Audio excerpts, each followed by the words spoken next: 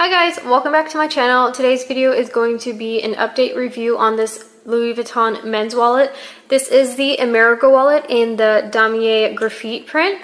So the Amerigo wallet does have a lot more card slots than a regular wallet does. Um, I did do a review when it when we did receive it, so it's brand new. This one's two years old, so I want to give you guys an update on it. I also did a Slender ID wallet um, review, so I will go ahead and link that below. So go ahead and check those videos out if you want to. So this is going to be a two-year update review. Um, there is a lot of wear and tear on this wallet. Of course, men's wallets do go through a lot more um, beating than a woman's wallet because I feel like women's wallet are placed in a safe place like a purse rather than the back pocket. And when you do sit on it it does start to mold and start to um, kind of like this one is it's kind of like warping. So this wallet is going to be needing revarnishing and restitching and I will show you where um, exactly. So the varnishing on the canvas wallets will wear off eventually. The um, varnish is really thick coated at one time, but as time goes by, it does get wear and tear and it does crack and crease and just wear off. So right here, um, you can see that it's already fading and you can kind of see like right here the inner stitching is already um, showing because it did crack right here where the varnishing is wearing off. So when the varnish wears off, it starts to crack when they did sew the two canvas pieces together.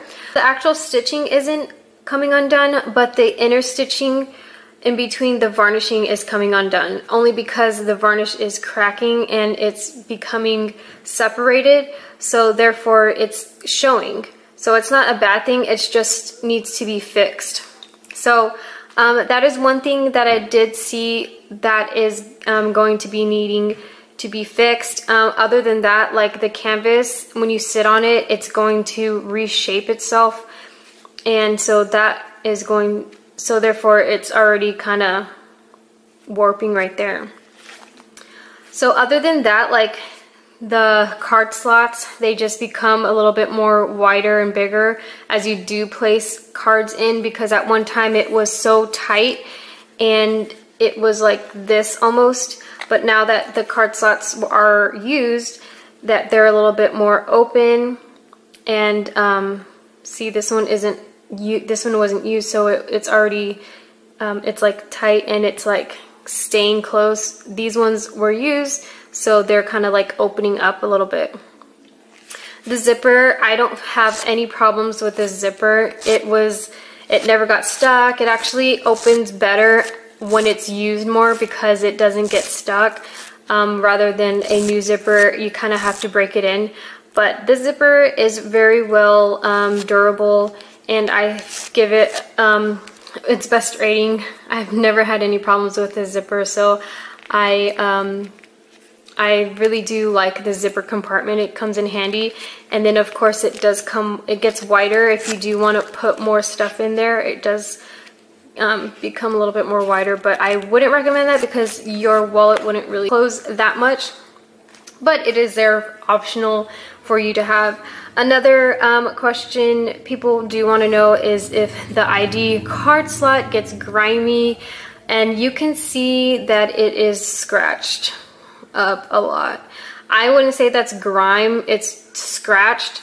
Um, and I don't know how to fix it. I've never really tried wiping it down or anything because it's just gonna get like that um, over time. But another thing people do wanna know is what does it look like when there's an ID in the card slot because I did mention in my other video that this is more of a square than a rectangle ID holder. So I do have a gift card and I just want to place it in here for y'all so y'all can see what it looks like because I did mention that it doesn't really look that bad but it kind of bothers me.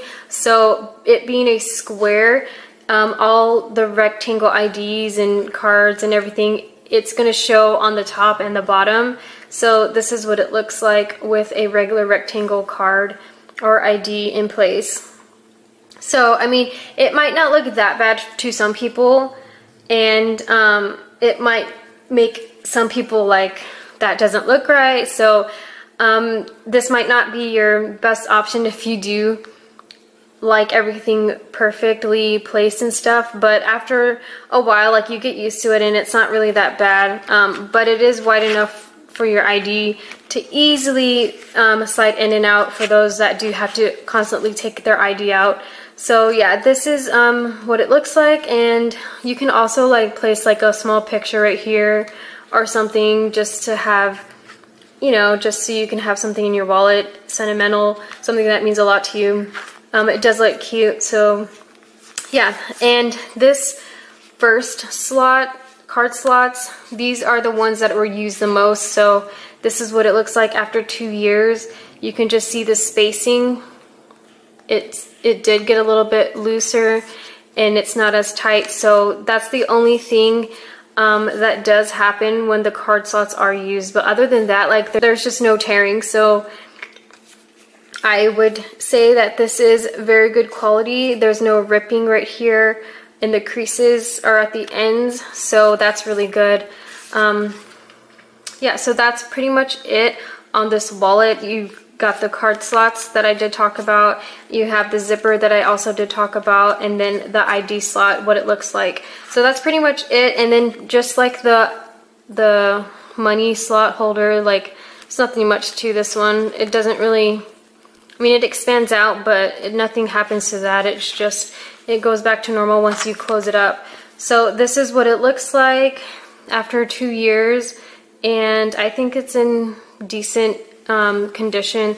The only thing that you might have to do is just get it revarnished and restitched, but other than that, like, I think this wallet will um, carry a long life ahead, and um, that's pretty much it.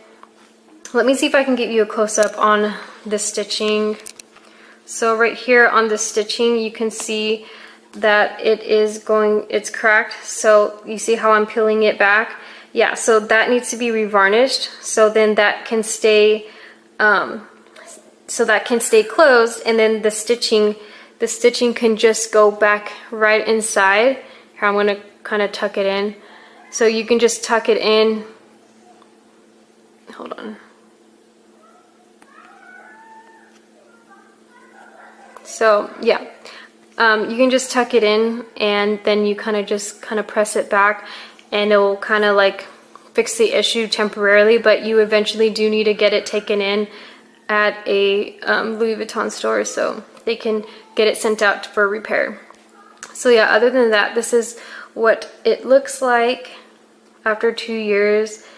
And so I hope this helps anybody that's trying to figure out what wallet is worth having um, for the long run because I know these aren't um, cheap at all. So these wallets are an investment because I feel like they do last a while. So this is just a small update review.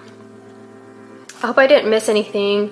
And if I did, then let me know and I can answer it um, in the comments down below. So yeah, so this is it to the Amerigo wallet two-year review update and so I think that is it and so thank you guys so much for watching my videos and supporting my channel um, and I will talk to you guys in my next video. Bye!